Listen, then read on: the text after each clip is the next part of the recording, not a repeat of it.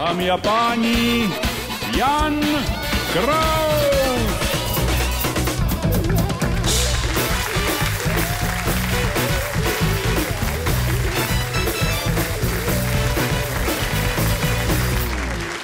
Dobrý večer, děkuji určitě, dámy a pánové, dobrý večer.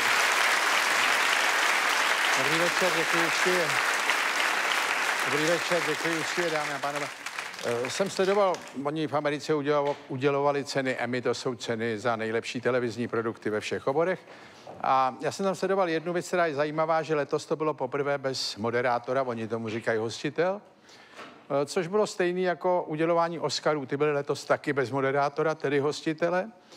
A když se podíváte do toho zahraničního tisku, tak ty televize říkají, že ono to dostane trošku jiný tempo, když tam není ten moderátor a mm, že to jako bude svižnější. No tak ten Oscar, i když byl svižnější, tak měl druhou nejnižší sledovanost, teda jenom proto, že ten loňský byl ještě míň.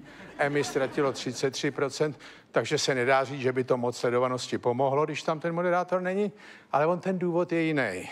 On Televize se bojí si tam někoho vzít, že řekne něco nekorektního.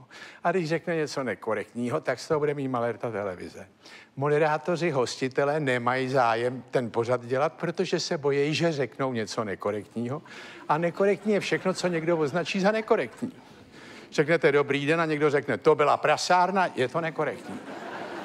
Čili se nám tady pomalu eh, jak si zatahuje temný kruh, protože humor svojí podstatou stojí na tom, že je vždycky nekorektní. To je jeho princip.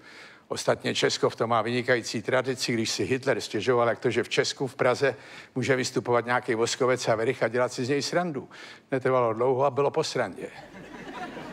Bojím se, aby nebylo po srandě na celé planetě a u nás si to hlídejme dvakrát.